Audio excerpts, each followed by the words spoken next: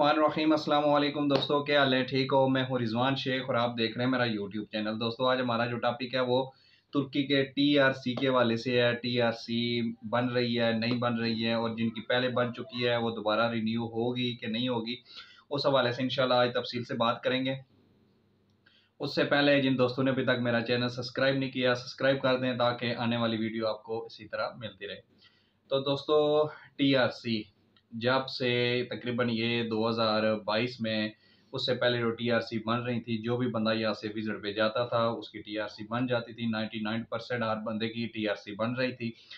तो फिर कुछ आ, हमारे पाकिस्तानियों की वजह से कुछ हमारे अपने करनामों की वजह से सख्ती हुई है जिससे वो तफसील में मैं जाना नहीं चाहता हूँ क्योंकि हर बंदे को पता है जिससे बहुत ज़्यादा सख्ती हो गई है और सख्ती होने के बाद उन्होंने तकरीबन 95 परसेंट टी बंद कर दी है। अब जितने भी विज़िट पे जा रहे थे, उनकी टी नहीं बन रही है। या जिन्होंने उस टाइम अप्लाई किए थे, उनकी जो है ना रिजेक्ट हो गई है। तो दोस्तों, अभी की जो पोजीशन है, उस हवाले से जो बंदे भी नए जा रहे हैं, उनके तकरीबन 95 परसेंट चांस हैं कि टीआरसी नहीं बनती है। ठीक है? इस्तंबुल की तो आप बिल्कुल भूल जाएँ कि इस्तंबुल में बनेगी। इस्तंबुल तो बिल्कुल ख़त्म है। ठीक है? अगर आगे पीछे जो इलाके, जो टूरिस्ट इलाके हैं, जहाँ पे टूरिस्ट आते हैं, वहाँ पे अगर आपका जेनवन अपना घर है, उसका घर का एड्रेस है, उसके बाद जो बाकी जितने भी उनकी रिक्वायरमेंट हैं, वो सारी अगर पूरी करते हैं तो फिर भी दस परसेंट चांस है कि आपकी टीआरसी बन जाएगी। तो दूसरे लिहाज से ना होने के बराबर है, ठीक है? अच्छा आप अगली बात करते हैं, जिन दोस्तों की पहले बन चुकी है, वो अब उनका अगर साल पूरा हो रहा है तो रिन्यू कैसे होगी? तो रिन्यू करने का जो सबसे बेहतरीन तरीका है, अगर जो बंदा साल, दो साल से वहाँ पे रह रहा है तो फिर भी अगर वो किसी एजेंट के पास जा रहा है तो मेरे ख्याल में फिर उसको वहाँ पे रहने का फ़ायदा ही नहीं है कि अगर उसको उतना पता नहीं चल सका है कि कैसे रिन्यू होगी या फिर भी एजेंटों के पास जा रहा है डबल ट्रिपल पैसे दे रहा है। तो सबसे पहले गवर्नमेंट की वेबसाइट पर चले जाएँ। तुर्कश गवर्नमेंट जो मिनट है, उसकी वेबसाइट पर सारी डिटेल लिखी होती है क्या क्या रिक्वायरमेंट है, और सबसे पहले जो आपने एड्रेस दिया होता है, ठीक है जो आपका एड्रेस है, घर का जो आपने आपने पहली बार जो टी आर सी बनवाई है, उसमें जो एड्रेस दिया है, वो एड्रेस वही होना चाहिए। जब आप दोबारा अप्लाई करते हैं तो वो चेकिंग के लिए आते हैं और चेक करते हैं और पूछते हैं कि ये बंदा फलाम बंदा जिसने ये अभी दोबारा डॉक्यूमेंट्स दिए हैं रिन्यू करवाने के लिए, ये बंदा इस जगह पे रहता है, नहीं रहता है, ठीक है? वो भी चेक होता है। अगर आपने आगे पीछे कहीं का डाला हुआ है, अगर आप उससे पहले जहाँ जहाँ का एड्रेस आप उस घर में वापस आ जाएँ, उस इलाके में वापस आ जाएँ ताकि, क्योंकि वो चेकिंग करने के लिए लाजमी आते हैं और अक्सर ये होता है कि मैं दो तीन मेरे पास ये ऐसी बातें आई हैं कि जो बंदे वहाँ पे नहीं थे तो उनका रिजेक्ट हो गया दोबारा। इस वजह सबसे जो मेन चीज़ है इसमें। दूसरा नंबर जो सबसे बड़ी बात है कि ये आपकी जो टी आर सी है, ये भाई वहाँ पे आपके लिए विज़िट टी आर सी है, कॉम के वाले से नहीं है, ठीक है? दोबारा आपसे वो भी, ये भी पूछ सकते हैं कि अगर आप एक साल आए यहाँ पे रहे हैं तो आपने इतना पैसा ये जहाँ पे खर्च किया, ये कहाँ से लाएँ? इनकम आपका कहाँ है? पाकिस्तान से मंगवाएँ, कहाँ से मंगवाएँ? और आगे भी आपने रहना ये सारी चीज़ें सारे डॉक्यूमेंट्स पूरे करके देते हैं तो फिर जाके आपको रिन्यू होती है और हो रही है रिन्यू इसका कोई ऐसी बात नहीं है कि रिन्यू नहीं हो रही है। मगर ये है, जो आपने एड्रेस दिया है, जो सारी चीज़ें आप, नफूस उसको बोलते हैं एड्रेस को ठीक है तुर्की जबान में नफूस अगर आपका सही है तो फिर इनशाला आपको जो है ना वो टीआरसी मिलेगी। ठीक है। अगर आपका एड्रेस सही नहीं है, अगर वो आके चेक करते हैं पुलिस आती है चेक करती है, किसी से पूछताछ करती है तो अगर आप वहाँ पे नहीं है तो फिर आपके लिए इशू बन सकता है। ठीक है, दूसरी बात। बिज़नेस टीआरसी जो है ना बिज़नेस टीआरसी तो ऑलरेडी वो बिज़नेस बंदा कर है, वहाँ पे ब्लू टीआरसी है, जो बिज़नेस कर है, वहाँ पे वो टैक्स दे रहा है तो उसकी रिन्यू होती रहती है। अच्छा जो आम बंदा जो जाता है ना, वैसे जैसे विज़िट के लिए जाते हैं और टीआरसी अप्लाई करते थे, वो उनके लिए इशू है। जो जेनवन बंदा विज़िट के लिए जाएगा, वहाँ पे अगर वो प्रॉपर्टी लेता है या वहाँ पे बिज़नेस शो करता है तो फिर उसके लिए भी टीआरसी बन रही है। टीआरसी उसके लिए, जो आम बंदा ही जाता था, वैसे ही टीआरसी अप्लाई कर लेते थे, ठीक है। वो अब बंद है वो मुश्किल हो गया, बिल्कुल ना होने के बराबर ही है, ठीक है। तो रिन्यू हो रही है, उसका कोई इशू नहीं है, एक।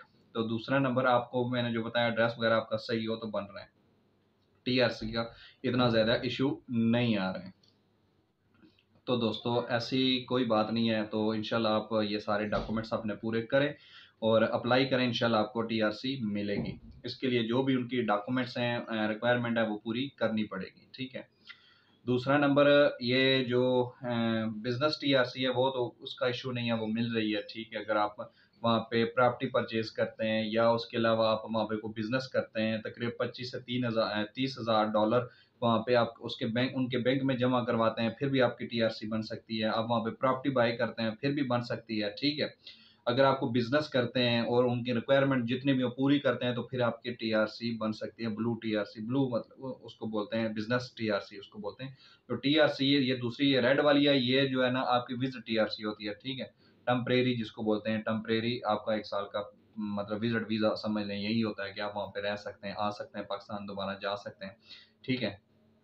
उसके अलावा आप इस्तंबुल के बाहर से कोई भी अगर आपका मालिक है, आपके साथ अच्छा है, उसके साथ आपके पहले तलक हैं तो इस्तंबुल के बाहर से इस्तंबुल में तो बिल्कुल नहीं बनती। इस्तंबुल के बाहर से आप जाके दोबारा किसी शहर में जहाँ पे टूरिस्ट आते हैं तो वहाँ पे आप, अगर आपके मालिक के साथ सेटिंग ठीक है और आप जेनवन डॉक्यूमेंट सारे लगाते हैं तो इनशाला आपकी टी बन जाएगी।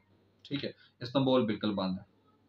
दूसरा नंबर ये जो आजकल बातें चल रही हैं 2023 के हवाले से कि यूरोप में चला जाएगा और ये वहाँ पे डॉक्यूमेंट्स मिलने शुरू हो जाएँगे पेपर मिलेंगे, ये सारी काफ़ी सारी बातें जितनी भी सुने वो सारे अपने अपने लिहाज से बात कर रहे हैं। ऐसी कोई भी बात नहीं है, फ़िलहाल ठीक है। अगर उन्होंने यूरो में जाना ही होता तो या यूरो चलना होता, या इस्तांबुल सिर्फ़ यूरो में जाता तो ये इतने सौ साल की पाबंदी लगती नहीं। ये, यही तो सारा इशू था, ठीक है। तो इनशाला मैं इस पूरे, इस जो है, जितनी भी ये सारी टॉपिक है, इसमें मैं डिटेल से एक वीडियो बनाऊँगा आप लोगों के लिए। तो कुछ हो सकता है कि करेंसी वगैरह बेहतर हो जाए, कुछ टैक्स वगैरह जो उनके बंद हैं, वो दोबारा मिलना शुरू हो जाएँ। तो उस लिहाज से थोड़ी सी करेंसी बेहतर हो सकती है, मगर ये इतना जल्दी नहीं है कि बाकी चीज़ें ये भी हो जाएगा, वो भी हो जाएगा, ये सारा सिस्टम इतना जल्दी नहीं है। इनशाला तफसील से मैं उसकी सारी तफसील अगर ठीक आ रहा हूँ नोट कर रहा हूँ इनशाला पूरी वीडियो बना के आपको बताऊँगा। बाकी जो विज़िट विज़िट का रेशियो आ रहा है ना, आजकल जो रेशियो है, वो तकरीबन फिफ्टी परसेंट आ रहा है, ठीक है? उस तरीके से वीज़े नहीं दे रहे हैं। विज़िट वीज़ा ठीक है, अगर अप्लाई करते हैं तो उस तरीके से नहीं दे रहे हैं। तकरीबन फिफ्टी परसेंट आपको वीज़ा सौ बंदा जमा करवाता है पचास, साठ बंदों को वीज़ा दे रहे हैं, ठीक है। कभी ये पिछले मतलब साल, मार्च, अप्रैल में जो इसकी रेशो थी वो तकरीबन नाइन्टी फाइव परसेंट थी तो अब उन्होंने ये भी काफ़ी सारी कम कर दी है। क्योंकि ये जो हमारे आजकल के जो मसले हर मुल्क में बन रहे हैं, ये इसी वजह से कि जो हमारे करना में हम जहाँ पे जाते हैं और दे, अंजाम देते हैं, उसकी वजह से ये हमें जो है ना जवाब मिलता है हर मुल्क से। तो इनशाला आई होप आपको ये वीडियो पसंद आई होगी कुछ इन्फॉर्मेशन आपको मिली होगी। तो दोबारा इंशाल्लाह फिर आपसे मुलाकात होती है। उससे पहले जिन दोस्तों ने अभी तक मेरा चैनल सब्सक्राइब नहीं किया सब्सक्राइब कर दें ताकि आने वाली हर वीडियो आपको इसी तरह मिलती रहे। तो दोस्तों ए, मैं आगे भी देख रहा था मेरी जो जितनी भी वीडियो आ रही हैं उस पर सारा वॉच टाइम बहुत ज़्यादा आ रहा है ठीक है? मगर सब्सक्राइब नहीं बढ़ रहे तो अगर आप देख रहे हैं तो अगर आपको पसंद है तो प्लीज़ सब्सक्राइब भी कर दिया करें ताकि इसका मुझको भी फ़ायदा होगा और मैं इनशाला इस हवाले से फिर दोबारा और मुझे भी पता चलेगा कि मेरे देखने वाले ज़्यादा हैं और मुझे सब्सक्राइब कर रहे हैं तो मैं दोबारा इनशाला फिर शौक से और ज़रा डिटेल ठीक करके सारी फिर वीडियो बनाऊँगा ताकि आपको ज़्यादा से ज़्यादा फ़ायदा हो सके। तो इनशाला फिर दोबारा आपसे मुलाकात होती है, तब तक के लिए इजाज़त दीजिए, अल्लाह हाफिज़।